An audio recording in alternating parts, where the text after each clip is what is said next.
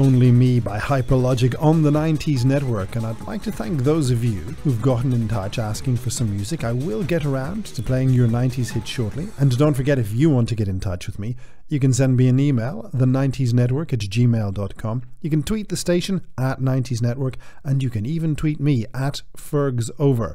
Right, let's go back to 1998 under the follow up to their smash If You Tolerate This, Your Children Will Be Next.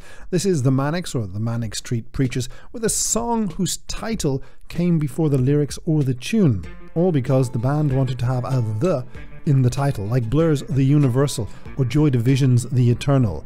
This is The Everlasting.